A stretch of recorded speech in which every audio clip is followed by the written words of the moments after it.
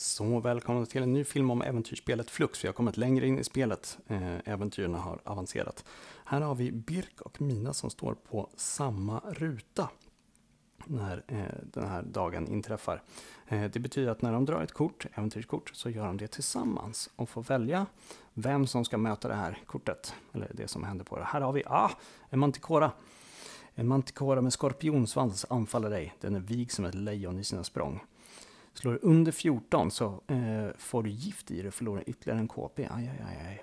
Men om du vinner så kan du byta in kortet mot ett tärningsslag i Mörka skogen för att få plus ett på eh, slaget. Mörka skogen ligger här uppe, ett ganska läskigt område kan jag berätta. Okej, okay.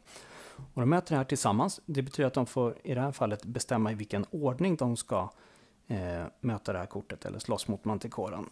Eh, så är det med fiender och så är det med utmaningar. När det är andra kort så är det bara en äventyrare som möter kortet. Nu får de välja vilken ordning.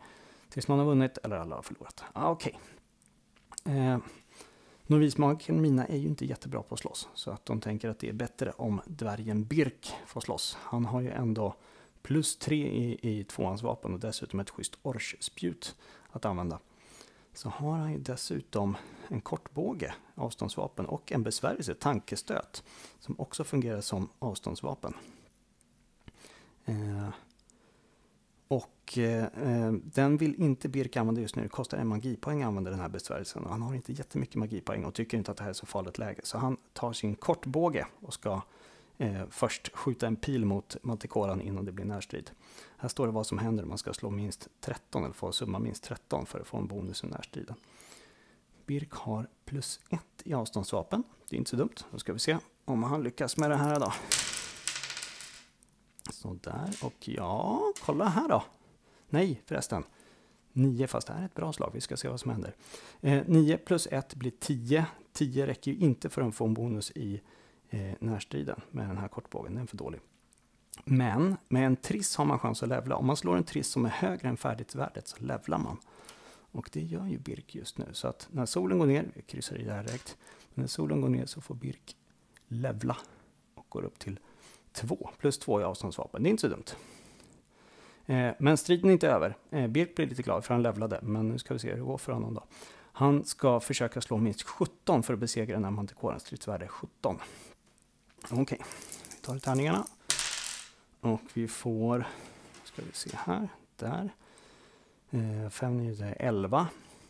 Plus 3 för tvåhandsvapen, det blir eh, 14. Plus 3 till för orrspjutet, det är precis 17. Och det är inte så dumt alls. Kolla här eh, 17 så är det ett understruket värde där. Det betyder att om man lyckas slå precis det, eller summan blir precis där, 17, så har man gjort ett perfekt slag. Och Birk får därmed, för ett perfekt slag får man tre stycken fluxkristaller att lägga till sin, till sin karaktär. Och nu är dagen så gott som slut. De står på samma ruta och tänker att ah, vi kan ta och göra någonting bra. Birk var ju tvungen att slänga bort sitt uppdrag innan för han fick den här flambergen och hade inte plats för det. Men nu står han och Mina på samma ställe så han tar och ger ett föremål, de här eh, jägarens skor till mina. De har man när man smyger, blir bättre på att smyga, kan fly från fiender bättre. Så får mina den. Han tar också och skickar över tre stycken fluxkristaller för han känner att mina har bättre nytta av dem än vad Birk har. Sådär.